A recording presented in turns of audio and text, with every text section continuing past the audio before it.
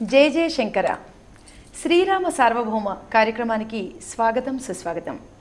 ఈనాటి కార్యక్రమంలో రామాయణ యుద్ధ చరిత్ర రామాయణంలోని వివిధ కళలు సాహిత్యము అలాగే వైజ్ఞానిక విశేషాలు శ్రీరామచంద్రుని సార్వభౌమత్వం వీటన్నిటి గురించి మనకు వివరించడానికి ఈరోజు మనతో పాటు ఉన్నారు ప్రముఖ చరిత్ర పరిశోధకులు పురాతత్వ శాస్త్రజ్ఞులు డాక్టర్ మల్లంపల్లి మల్లికార్జునరావు గారు. వీరు గత ముప్పై సంవత్సరాలుగా శ్రీమద్ రామాయణంపై అనేక పరిశోధనలు చేసి న్యూఢిల్లీలోని సాక్రిఫైస్ అనే అంతర్జాతీయ సంస్థకి అధ్యక్షులుగా వ్యవహరిస్తున్నారు. అంతేకాకుండా సౌత్ ఈస్ట్ ఏషియన్ కంట్రీస్ అయినటువంటి ఇండోనేషియా కంబోడియా థాయిలాండ్ మొదలగు దేశాల్లో విస్తృతంగా పర్యటనలు చేసి అనేక విశ్వవిద్యాలయాల్లో వీరు రామాయణంపైనే అనేక ప్రసంగాలు చేశారు ఎన్నో మెప్పులు పొందారు. మరి ఈరోజు వారితో చర్చించి మరిన్ని విశేషాలు మనం రామాయణం గురించి వీరి ద్వారా తెలుసుకుందాం.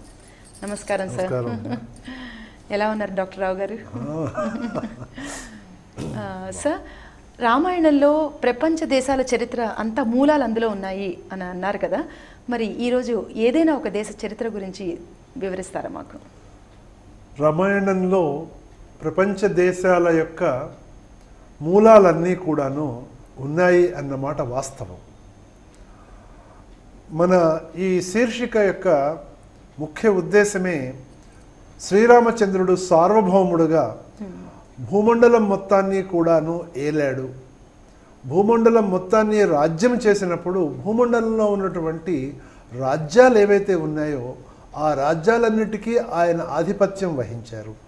ఆయన మార్గదర్శనంలో ఆ రాజ్యాలన్నీ సుభిక్షంగా రామరాజ్యంగా విలసిల్లాయి అనడంలో సందేహం లేదు. అయితే ఆ దేశాలన్నీ ఏ ఏ దేశాలు రామరాజ్యంలో భాగంగా ఉన్నాయి అని చెప్పాలి అంటే చాలా సీరియల్గా మనం చెప్పుకోవాల్సి ఉంటుంది అన్ని దేశాలు. ఎందుకంటే ఈనాడు ప్రపంచంలో నూట తొంభై ఐదు దేశాలు ఉన్నాయి. కాబట్టి నూట తొంభై ఐదు ఎపిసోడ్స్గా మనం చెప్పుకున్నప్పటికీ సరిపోదు. సరే. అయితే ఒక మీరు అడిగినట్లుగా ఒక దేశాన్ని గురించి ఈనాడు ముచ్చటించుకుందాము. భారతదేశానికి ఆగ్నేయ దిశలో అంటే సౌత్ ఈస్ట్ దిశలో ఒక పెద్ద దేశం ఉంది. ఆ దేశంలో రామాయణ కాలంలో ముఖ్యంగా మూడు రాజకుటుంబాలు ఉంటూ ఉండేవి. ఆ రాజకుటుంబాల యొక్క చరిత్ర గనక మనం తెలుసుకున్నట్లయితే ఆ దేశం యొక్క చరిత్ర మొత్తం కూడా మనకి తెలుస్తుంది. ఆ రాజకుటుంబాలలో మొదటి కుటుంబము గురించి మీకు వివరిస్తాను. జవా అనేటువంటి ఒక మహారాజు. అతని భార్య పేరు శతహ్లద. వారిద్దరికీ ఒక శక్తివంతమైనటువంటి ఒక కొడుకు కలిగాడు. అతని పేరు తుంబురుడు. తుంబురుడు. కానీ ఏదో ఒక శాప కారణంగా నారదుడిచ్చినటువంటి శాప కారణంగా అతను భారతదేశంలో విరాధుడు అనేటువంటి పేరు మీద దండకారణ్యంలో రాక్షసుని అవతారంలో అతను ఉండటం తటస్థించింది. అరణ్యకాండలో మూడవ సర్గలో ఆరవ శ్లోకంలో విరాధుడే స్వయంగా తన యొక్క పుట్టుపూర్వోత్తరాలన్నిటి గురించి వివరిస్తాడు. పుత్ర కిల జవస్యాహం నేను జవ అనే అతని యొక్క పుత్రుణ్ణి కదా అలాగే మమ మాత శతహ్లద నా తల్లి శతహ్లద. విరాధ ఇది మా మాహు. నన్ను విరాధుడు అని అంటారు. పృథివ్యాం సర్వరాక్షసాహ ఈ భూమి మీద ఉన్నటువంటి రాక్షస జాతులు అందరూ కూడా నన్ను విరాధుడు అని పిలుస్తారు. అంటే రామాయణంలో వాల్మీకి మహర్షి ఈ విరాధుని యొక్క తల్లి ఎవరు తండ్రి ఎవరు అతన్ని రాక్షస జాతులన్నీ ఏమని పిలుస్తాయి? అతను విరాధుని యొక్క చరిత్ర అరణ్యకాండలో రామలక్ష్మణులు సీత కోసం వెతుకుతూ ముందుకు వెళ్తున్నప్పుడు ఈ విరాధుని చేతిలో పడతారు వారు. విరాధునితో చాలా ఘోరమైనటువంటి యుద్ధం జరుగుతుంది. విరాధుడిని జయించటం అశక్యం అంత గొప్ప పరాక్రమశాలి అతను. అతని యొక్క బల్లెము ధాటికి రామలక్ష్మణులు తట్టుకోలేకపోతారు.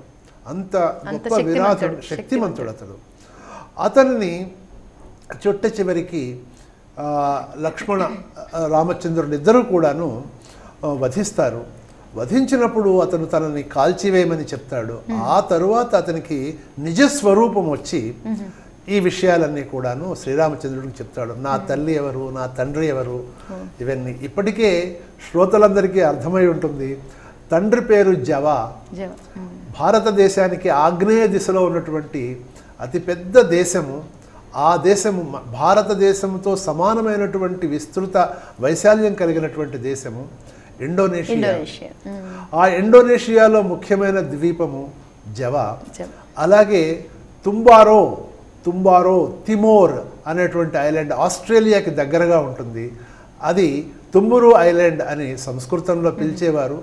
తర్వాత తర్వాతి కాలంలో యూరోపియన్ జాతులందరూ అక్కడికి వెళ్ళి ఆయా జాతులు వాళ్ళకి సంస్కృత భాష పలకటం రాని కారణంగా దాన్ని తుంబారో అని తుంబూరు తిమోర్ ఈనాడు తిమోర్ అనేటువంటి East Timor West Timor. Timor అనేది అక్కడ భాష లేదంటే ప్రదేశం? ప్రదేశం పేరు, ఒక ప్రదేశం పెద్ద ఐలాండ్. ఈ మొత్తము ఇండోనేషియా అంతా కూడాను సుమారుగా పద్దెనిమిది వేల నూట పది ఐలాండ్స్ కలిగినటువంటి దేశం. పద్దెనిమిది వేల నూట పది. చిన్న చిన్న ఐలాండ్స్. అందులో పెద్ద ఐలాండ్స్ ఎక్కడైతే జనావాసాలు ఉంటాయో అలాంటివి ఆరు వేల ద్వీపాలలో జనావాసం ఉంటుంది. సుమారుగా రెండు వందల నలభై మిలియన్ల ప్రజలు ఈ రోజుల్లో నివసిస్తున్నారు. ఇండోనేషియాలో. ఇండోనేషియాలో. అంటే భారతదేశంతో సమానమైనటువంటి. స్థాయి కలిగినటువంటి ఆ దేశంలో ఉన్నటువంటి ఐలాండ్స్ దానిని రెండు భాగాలుగా ఒకానొకప్పుడు ఉండేది. దాని పేరు greater Sunda islands and lesser Sunda islands. ఆ, అక్కడ పరిపాలన చేసినటువంటి ఇద్దరు సోదరులు సుందా ఉపసుందా. ఉప అంటే చిన్న. యూరోపియన్స్ అక్కడికి వెళ్ళిన తర్వాత చిన్న అనే దానికి వాళ్ళ ఇంగ్లీష్లో ట్రాన్స్లేషన్ చేసుకుని గ్రేటర్ సుందా అంటే పెద్దన్నయ్య లెస్సర్ లెస్సర్ సుందా అంటే చిన్న సుందా అని వాళ్ళు ఇప్పటికీ కూడా గ్రేటర్ సుందా లెస్సర్ సుందా అనే పేరుతో ఆ మొత్తం ఇండోనేషియాని పిలువబడుతుంది. ఇండోనేషియా అని కూడా పిలువబడుతుంది సుందా ఐలాండ్స్ అని పిలువబడుతుంది సుందా సముద్రము అని పిలువబడుతుంది. ఇందులో greater Sunda ఐలాండ్స్లో Borneo Java Sumatra Sulawesi Kalimantan ఈ ఐలాండ్స్ అన్నీ కూడా వస్తాయి. మనకి ఈ మ్యాప్లో కనిపిస్తున్నట్లుగా ఈ ఐలాండ్స్ అన్నీ కూడాను పెద్ద పెద్ద ఐలాండ్స్ ఇవి.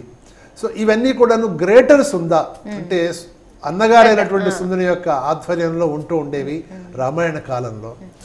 లెస్సర్ సుందాలో వచ్చేసి మనకి బాలి ఐలాండ్ లోమక్ బాలి చాలా ప్రసిద్ధమైనటువంటి. హిందూ సంస్కృతికి హిందూ సభ్యతకు ఈ ఈనాటికి రామాయణం విశేషపూర్వకంగా అక్కడ గుడులు అవన్నీ కూడా అక్కడ దేవాలయాలు ఇవన్నీ దేవాలయాలు కూడా ఉన్నాయి. బాలి ఐలాండ్ గురించి మనం వేరే మళ్ళీ ఇంకొక ఎపిసోడ్లో మాట్లాడుకోవచ్చు. ఇండోనేషియా ముఖ్యంగా మనం మాట్లాడుతున్నాం కాబట్టి బాలి లోంబాక్ సుంబవా ఫ్లోరెస్ సుమాత్రా తిమోర్ అదేవిధంగా Alor archaeo archipelago Barat Daya islands Tanimbar islands అలాగే హాల్మహేరా ఐలాండ్స్ న్యూగినియా పాపువా ఇవన్నీ కూడాను లెస్సర్ సుందా ఐలాండ్స్లో ముఖ్యమైనటువంటి ఐలాండ్ ఇండోనేషియా అంతా కూడా రామరాజ్యంలోనే ఉండేది.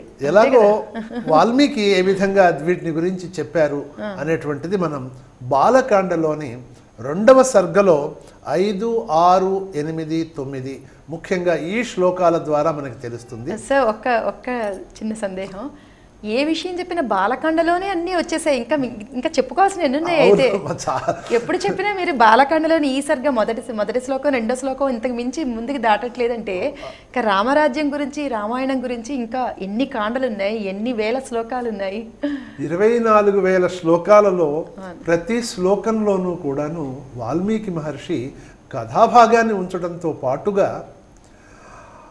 వివిధ సైన్సెస్కి సంబంధించినటువంటి శాస్త్రాలకు సంబంధించినటువంటిది అదేవిధంగా రాజరికానికి ఆ రోజుల్లో ఉన్నటువంటి ప్రజలు వారు ఏ విధంగా ఉండేవారు వాళ్ళ నాయకులు ఎవరు ఇలాంటి విషయాలన్నీ పొందుపరిచారు.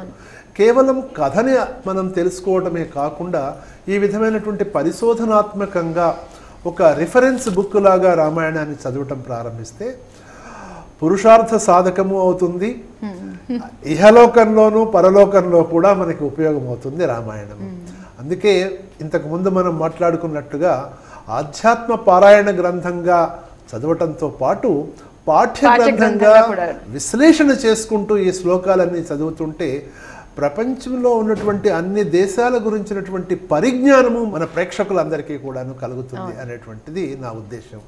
ఈ విధంగా బాలకాండలోని ఇరవై ఐదవ సర్గలో మనం మొత్తం సర్గంతా కూడా ఈ విషయాల గురించే ఉంటుంది. అందులో ముఖ్యంగా ఐదు ఆరు ఎనిమిది తొమ్మిది శ్లోకాలలో మనకి ఆ, ఇండోనేషియాలో ఉన్నటువంటి ఇంకొక రెండు కుటుంబాల గురించి వాల్మీకి చక్కగా వివరిస్తారు. పూర్వమాసీన్ మహాయక్ష సుకేతుర్నామ వీర్యవాన్. పూర్వము సుగ సుకేతు అనేటువంటి ఒక సీన్ ఉండేవాడు. ఉండేవారు అని చెప్పేసి. ఈ సుకేతు అనే అతను యక్ష జాతికి చెందినటువంటి వాడు. ఈ పద్యాలలో చాలా చిత్ర విచిత్రాలు మనకు కనిపిస్తాయి. ఇతను యక్ష జాతికి చెందినటువంటి వాడు సుకేతు. ఇతను అక్కడ రాజ్యం చేస్తున్నాడు. లెసర్ సుంద ఐలాండ్స్ అన్నీ కూడాను ఈయన యొక్క ఆధీనంలో సుకేతు ఆధీనం. సుకేతు ఆధీనంలో ఉండేటువంటివి. అనపత్య శుభాచార సచ తేపే మహత్తప. అతనికి ఈ సుకేతు అనే యక్షుడికి సంతానం లేదు అనపత్య. ఈ విధంగా సంతానం లేని కారణంగా అతను ఎంత గొప్ప పరాక్రమశాలి అయినా సంతానం లేదే అని బాధపడుతూ అతను తపస్సు చేశాడు. ఆ తపస్సు చేసినప్పుడు బ్రహ్మ ఈ రాక్షసులు యక్షులు వీరందరూ కూడా రామాయణ కాలంలో బ్రహ్మదేవుని గురించి తపస్సు చేస్తూ ఉండేవారు. రావణాసురుడు కూడా బ్రహ్మ నుంచి వరాలు పొందాడు అని మనం తెలుసుకుంటూ ఉంటున్నాం ఆ రోజుల్లో రామాయణ కాలంలో పితామహుడైనటువంటి బ్రహ్మని అందరూ పూజిస్తారు. అలాగే సుకేతు యక్షుడు కూడా బ్రహ్మదేవుని పూజించి అతని మెప్పు పొంది అప్పుడు మెప్పు పొందినప్పుడు ఆ పితామహుడైనటువంటి బ్రహ్మ పితామహస్తు సుప్రీత తస్య యక్షపతేస్తథ. ఆ యక్షపతి యక్ష అంటే పతి అంటే రాజు అని ఇక్కడ అర్థం. ఆ యక్ష రాజు సుకేతుని యొక్క తపస్సుకి సంతోషించినటువంటి పితామహుడైనటువంటి బ్రహ్మ కన్యారత్నం దదౌ రామ తాటకాం నామ నామత. ఈ శ్లోకాలన్నీ కూడాను విశ్వామిత్ర మహర్షి రాముడికి కథలాగా చెప్తున్నాడు. తాటక మొదలైన వారి యొక్క జన్మ వృత్తాంతాలన్నీ ఈ శ్లోకాల్లో వస్తాయి. మనకి తాటకని గురించి బాగా తెలుసు. శ్రీరాముడు సంహరించటము ఇవన్నీ సినిమాలలో నాటకాలలో కథలలో ప్రాచుర్యంలోకి వచ్చి అందరికి చిన్న వాళ్ళ నుంచి అందరూ కానీ ఆమె ఎక్కడి నుంచి వచ్చింది? ఆమె జన్మస్థలం ఏమిటి? ఆమె పూర్వ కథ ఏమిటి? ఆమె తల్లిదండ్రులు ఎవరు? ఇవన్నిటినీ రామాయణంలో పొందుపరచటం ఇది ఇతిహాసం యొక్క లక్షణం. అంటే చరిత్ర అనగానే మనకి తెలుగులో వారు ఎక్కడ పుట్టారు ఎవరికి పుట్టారు వారు ఏ సమయంలో ఉన్నారు వారు చేసిన పనులేంటి? ఇదే కదమ్మా చరిత్ర అనేది. కాబట్టి వాల్మీకి మహర్షి కూడా ఆ విధమైనటువంటి రామాయణాన్ని ఒక చరిత్ర గ్రంథంగా నిర్మించి అందులో అనేక పాత్రలు ఏవైతే వస్తాయో వారందరి యొక్క చరిత్రలు ఏ ఏ దేశాలలో వాళ్ళు పుట్టారు ఏ స్థలాలలో వాళ్ళు సంచరించారు వాళ్ళు చేసిన గొప్ప పనులేంటి? వీటన్నిటినీ వివరిస్తూ ఉంటారు. ఈ శ్లోకంలో పితామహస్తు సుప్రీత తస్య యక్షపతేస్తథ. కన్యారత్నం దదౌ రామ తాటకాం నామ నామత. తాటక అనేటువంటి పేరు కలిగినటువంటి ఒక కూతుర్ని ఆ యక్షపతి యక్షరాజుకి ఆయన వరంగా ఇచ్చారు. అంటే తాటక యొక్క తండ్రి పేరు సుకేతుడు. అనేటువంటిది మనకి అర్థమవుతుంది. దీనిలో. అలాగే తాంతు జాతాం వివర్ధంతి రూపయవ్వనశాలిని. ఆ తాటక అనేటువంటి యక్షపుత్రిక రూపము మంచి అందమైనటువంటి రూపము యవ్వనము కలిగినటువంటి స్థాయికి వచ్చింది అయితే ఆమె పుట్టినప్పుడే బ్రహ్మదేవుడు ఒక వరం ఇచ్చాడు నిజానికి సుకేతుడు తనకు ఒక పుత్రుడు కావాలి అని యజ్ఞ తపస్సు చేశారు. కానీ బ్రహ్మ నీకు పుత్రుడిని ఇవ్వలేను కూతుర్నిస్తాను కానీ ఆమె వేయి ఏనుగుల బలం కలిగినటువంటి శక్తి కలిగినటువంటి కూతుర్నిస్తాను ఆమె రూపయవనవతి కూడాను అంటే మగపిల్లలకి శక్తి ఎక్కువ ఉంటుంది ఆడపిల్లకి ఆ అలా విధంగా శక్తిని ఇస్తూ ఆడపిల్లని ఇస్తాను. ఆడపిల్లనిస్తాను అన్నారు. ఆమె వెయ్యి ఏనుగుల శక్తి కలిగినటువంటి నాగ సహస్రం. అంటే వెయ్యి నాగ అంటే ఏనుగు. ఆ విధంగా వెయ్యి ఏనుగుల బలం కలిగినటువంటి ఒక కూతుర్ని నీకు నేను వరంగా ఇస్తున్నాను అని ఆమె ఆమె పేరు తాటక అని ఆ తర్వాత నామకరణం చేయడం జరిగింది. ఆ విధంగా తాంతు జాతాం వివర్ధంతి రూపయవ్వనశాలిని జంభపుత్రాయ సుందాయ దదౌ భార్యాం యశస్విని. ఆ తర్వాత ఆమె యవనం వచ్చిన తర్వాత ఆమెని అక్కడ ఇంకొక రాజు అయినటువంటి చక్రవర్తి అయినటువంటి జంభ అనేటువంటి ఆయన యొక్క పుత్రునికి జంభపుత్రాయ దదౌ భార్యాం యశస్వినీం. అతనికి భార్యగా. ఆ పుత్రుని పేరు సుంద. సుందుడు అనేటువంటి అతను ఆ జంభ అనేటువంటి చక్రవర్తికి రాక్షస చక్రవర్తి అసుర చక్రవర్తి వారికి ఆ, ఇద్దరు కొడుకులు ఉన్నారు సుంద. రెండవ అతని పేరు కూడా సుందనే. అందుకని రామాయణంలో అతని పేరు వేరే రాయకుండా సుందోపసుందులు అంటారు. అనమాట ఆ. విధంగా. అవునమ్మా. ఈ జంభ అని అసుర అని వాల్మీకి పేర్కొన్నారు కాబట్టి ఈ జంభ అనేటువంటి ఆయన అసుర జాతికి చెందినటువంటి వాడు. సుకేతు యక్షజాతికి చెందినటువంటి వాడు. యక్షజాతికి చెందిన స్త్రీ అయినటువంటి తాటకని అసుర జాతికి చెందినటువంటి రాక్షసులు వేరు మళ్ళీ. రాక్షసులు వేరు అసురులు వేరు యాతుధానులు వేరు. అసురులు రాక్షసులు ఒకటి కదా. ఒకటి కాదమ్మా ఒకటైతే ఒకే పదం ఎందుకు ఉంటుంది సంస్కృతంలో అసుర సమానార్థకంగా మనం వాడుతూ ఉంటాం. అంతేకాని ఏ జాతికి ఆ జాతి వేరు వేరే. ఇప్పుడు సంస్కృతంలో అసురుడు అంటే రాక్షసుడు అని కదా? సమానార్థకం సమానార్థం వీరందరిలో ఇచ్చిపుచ్చుకోవటాలు ఉన్నాయి బాంధవ్యాలు ఉన్నాయి కాబట్టి అసుర అనే శబ్దం సమానార్థం ఒకటే అయినట్లయితే రెండు పదాలు ఎందుకు వాడటం? అసుర జాతి వేరు రావణుడు అసురుడు అలాగే జంభ అసురుడు అలాగే రాక్షసులు వేరే ఉన్నారు. రాక్షస జాతి వేరు అసుర జాతి వేరు దైత్య జాతి వేరు దైత్యులు వేరు మళ్ళీ. హిరణ్యకశిపుడు మొదలైన వారు దైత్యులు. అదేవిధంగా పిశాచక జాతి వేరు గుహ్యక జాతి వేరు రకరకాలైనటువంటి జాతులు. యాతుధానులు వేరు. జంభ పుత్రుడైనటువంటి సుందునికి పెద్ద కుమారుడికి ఈ సుకేతు తన కూతురైనటువంటి తాటకనిచ్చి వివాహం చేశారు. వారిద్దరూ చాలా సుఖంగా ఆ మొత్తము సుందా ఐలాండ్స్ అని ఇప్పుడు మనం ఏవైతే అంటున్నామో ఈనాడు ఆ సుందా ఐలాండ్స్ అని ఇండోనేషియా అనేటువంటి పేరుతో పిలుస్తూ ఉంటారు. అతి పెద్ద దేశము. ఇందాక నేను చెప్పినట్లుగా ఆరు వేల ఐలాండ్స్లో ఇప్పుడు మానవ సంచారం ఉంటుంది. మానవ జీవనం సాగుతుంది. ఆ దేశం యొక్క మొత్తము ద్వీపాలు వచ్చేసి పద్దెనిమిది వేల నూట పది ద్వీపాలు ఉన్నాయని గుర్తించడం జరిగింది. ఈ ద్వీపాలన్నిటికీ అధిపతి అయినటువంటి ఇప్పుడు సుకేతు యొక్క రాజ్యము ఒకటే కూతురు కాబట్టి తనకి ఇచ్చినప్పుడు అల్లుడిదే మొత్తము రాజ్యమైంది. ఇటు జంబ మొత్తము సుంద ఉపసుంద వీరిద్దరూ కలిసి మొత్తం ఈనాడు ఇండోనేషియా అనేదైతే ఉందో ఆ ఇండోనేషియా మొత్తాన్ని పరిపాలిస్తున్నారు. వారి ఆధీనంలో ఉంది. అయితే కస్యచిత్ వధ కాలస్య యక్షపుత్రి అజాయత మారీచం నామ దుర్ధర్షం యశాపాద్ ద్రాక్షసో అభవత్ కొంతకాలం తరువాత ఈ సుందుడు యక్షకన్య అయినటువంటి ఈ తాటక ఇద్దరు సుఖంగా సంసారం చేస్తుంటే వారికి ఒక పరాక్రమశాలి అయినటువంటి కొడుకు పుట్టాడు. అతని పేరు మారీచ. మారీచుడు. మారీచుడు అని మనం అంటుంటాం తెలుగులో. ఆ విధంగా మారీచుడు. ఈ మారీచ తరువాత ఉపసుందునికి కూడా వివాహమైంది. అతనికి కలిగినటువంటి కొడుకు సుబాహు. సుబాహుడు అంటే తాటకకి సుబాహు తన మరిది కొడుకు అదే మారీచుడు సుబాహుడు ఇద్దరు అన్నదమ్ములు. కజిన్స్ కజిన్స్ అన్నమాట. ఇద్దరు కూడా అన్నదమ్ములు ఈ విధంగా. ఇద్దరూ కూడా పెరిగి ఇద్దరూ కూడాను సుశిక్షితులు. బాలకాండలో విశ్వామిత్రుడు దశరథన మహారాజు వద్దకు వచ్చి రాముణ్ణి తన వెంట పంపించమని చెప్తూ మారీచ సుబాహులనే ఇద్దరు రాక్షసులు. నా యొక్క విఘ్నం చేస్తున్నారు నా యజ్ఞానికి వారిని సంహరించడానికి శ్రీరాముని పంపించమంటే. అప్పుడు దశరథ మహారాజు విశ్వామిత్రుడు చెప్తాడు నాకు తెలుసు మారీచ సుబాహులు రావణుని రావణాసురుని యొక్క సైన్యంలో అద్భుతమైనటువంటి శిక్షణ కలిగినటువంటి వ్యక్తులు వారు మారీచ సుబాహులు రాక్షసులు యాగాలు చేస్తున్నప్పుడు విశ్వామిత్రుని యాగాలు భగ్నం చేస్తూ ఉంటారు. ఇది తెలుసు. కానీ మారీచ సుబాహులు ఇండోనేషియా నుంచి కూలంకషంగా స్టోరీ అంతా ఇప్పుడు తెలిసింది. ఎలా వచ్చారు అనేది. మనం గనక వరల్డ్ మ్యాప్ ప్రపంచ పటాన్ని గనక కొంచెం జాగ్రత్తగా చూసినట్టయితే ఇదిగో ఈ ప్రపంచ పటంలో ఇండోనేషియాకి వేరే పేరు అక్కడ మీకు కనిపిస్తుంది. Greater Sunda islands lesser Sunda islands. ఇవి సంస్కృత పదాలకి ఇంగ్లీష్లో ట్రాన్స్లేషన్ అయినాయి. ఇప్పటికీ కూడా అక్కడ సుందా ఐలాండ్స్ అనేటువంటిది ఆనవాయితీ. ఈ విధంగా ఇంత పెద్ద సుందా ఉపసుంద రామాయణ కాలంలో దాని మొత్తాన్ని పరిపాలిస్తూ ఉండేటువంటి గొప్ప వీరులు. వాళ్ళకి పుట్టినటువంటి వాళ్ళు మారీచ సుబాహులు. మారీచ సుబాహుల గురించి దశరథుడు చాలా గొప్పగా చెప్తాడు బాలకాండలో. వారిద్దరిని జయించటం అసాధ్యము.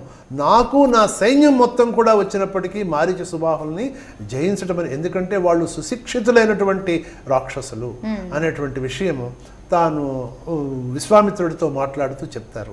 ఈ విధంగా అంత సుశిక్షితులయ్యి అంత బలం కలిగినటువంటి సహజంగా తల్లి వెయ్యి ఏనుగుల బలం కలిగినప్పుడు ఆమెకు పుట్టిన కుమారుడు కూడా ఆ జీన్స్ వస్తాయి కదా. జీన్స్ సైన్స్ ఏదైతే ఉందో దాని ప్రకారం మారీచుడు. చాలా గొప్ప బలం కలిగినటువంటి వ్యక్తి.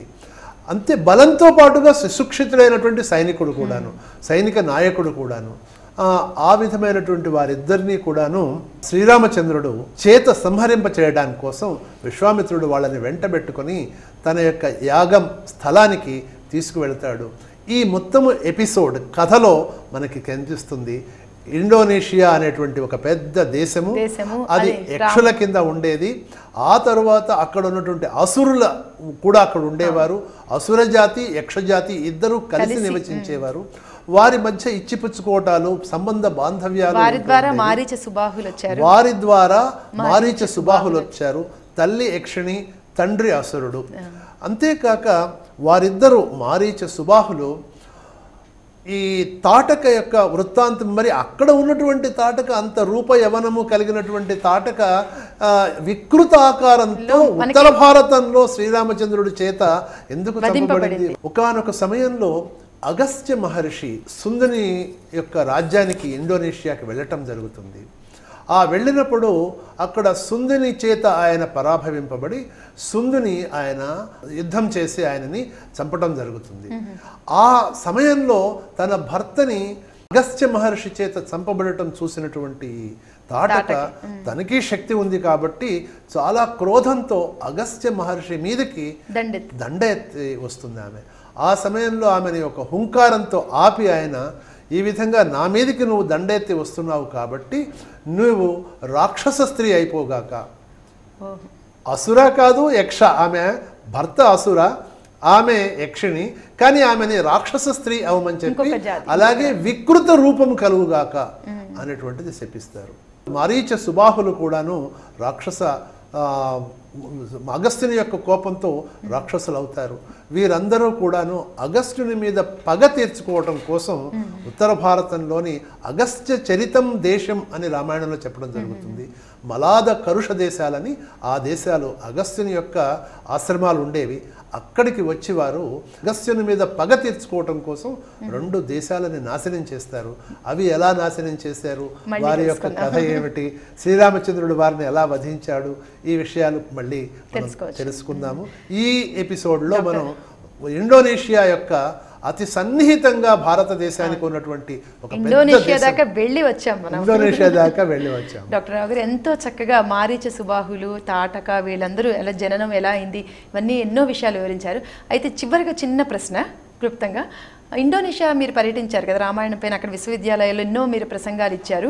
అలా ఇచ్చినప్పుడు అక్కడ ప్రజల స్పందన ఎలా ఉంది? ఎలా అనిపించింది మీకు? అంటే అక్కడ వాళ్ళందరికీ కూడా రామాయణం గురించి బాగా తెలుసు కదా? అందరికీ తెలుసమ్మా అక్కడ రామాయణము చాలా ప్రాచుర్యం ఎక్కడ చూసినా రామ మన కూడలలో చౌరస్తా అంటాం కదా అలాంటి చోట ఇరవై నాలుగు అడుగుల ఎత్తుల రామాయ రామ విగ్రహాలు ఉంటాయి. అవన్నీ కూడా నేను ఫొటోస్ అవన్నీ కూడాను మన ప్రేక్షకులకి వేరొక ఎపిసోడ్లో వేరొక కార్యక్రమంలో నేను చూపిస్తాను. ఆ విధంగా అక్కడ ఉన్నటువంటి ప్రస్తుతం ఉన్నటువంటి సంస్కృతి అక్కడ మంచి స్పందన ఉంది ప్రజల్లో. మంచి స్పందన ఉంది. రామాయణం అందరికీ తెలుసు. ఆ ఇండోనేషియా అక్కడి వారి భాష అక్కడి భాషలో అక్కడి వారి భాష ఏంటి? వాళ్ళ ఇండోనేషియన్ భాష ఉంది. ఆ భాష కాకపోతే పంతొమ్మిది వందల నలభై ఐదులో ఇండోనేషియా స్వతంత్రం పొందింది. బ్రిటిష్ వారి నుంచి ఫ్రెంచ్ వారి నుంచి. మొట్టమొదటి ప్రధాని పేరు సుకర్ణో. మంచి కర్ణుడు. ఆయన కూతురు పేరు సుకర్ణో పుత్రి. అన్ని సంస్కృత పదాలే. ఇప్పటికీ అక్కడ. అంటే మన దేశంలో అక్కడ అక్కడ ఎక్కువగా అక్కడ సంస్కృతం ఎక్కువగా ఉంది. ఆ తర్వాత వచ్చినటువంటి ప్రధాని పేరు సుహ సుహార్తో. మంచి హృదయం కలిగినటువంటి. సుహృత్. ఆ విధంగా అక్కడ ప్రజల పేర్లలో సంస్కృత పేర్లే అందరికీ ఉంటాయి. నగరాల పేర్లు ఒక ఇండోనేషియాని గురించి చర్చించుకోవడానికి అందులో ఉన్నటువంటి నేను ఇందాక చెప్పినటువంటి ప్రతి. ఒక ఐలాండ్ కూడాను ఒక కథ ఉంది. వాటిని గురించి చర్చించుకోవడానికే మనకి పదిహేను ఇరవై. ఎపిసోడ్స్ కనీసం ఒక్క ఇండోనేషియా గురించి పడుతుంది. ఇంకా ప్రపంచంలోని అనేక దేశాల గురించి రామాయణం ఆ దేశాల్లో ఎలా పరిఢవిల్లింది రామాయణానికి ఆ దేశాల సంబంధ బాంధవ్యాలు ఎలా ఉన్నాయి? ఇవన్నీ కూడాను మనం రాబోయే విస్తృతంగా చర్చిద్దాం. బాగుందండి. మీ ద్వారా ఇండోనేషియా దేశ చరిత్ర అలాగే రామాయణంలో రామాయణంలో ఈ దేశానికి ఉన్న ప్రాముఖ్యతను తెలుసుకున్నామండి. ధన్యవాదాలు. చూశారు కదండి ఈనాటి శ్రీరామ సార్వభౌమ కార్యక్రమాన్ని. మరిన్ని విశేషాలు మరో కార్యక్రమంలో తెలుసుకుందాం. జై జై శంకర. ఈ వీడియో మీకు నచ్చినట్లయితే లైక్ ఆర్ షేర్ చేయండి. మరిన్ని ఆధ్యాత్మిక సనాతన కార్యక్రమాల కోసం మా ఛానల్ సబ్స్క్రైబ్ చేసుకోండి.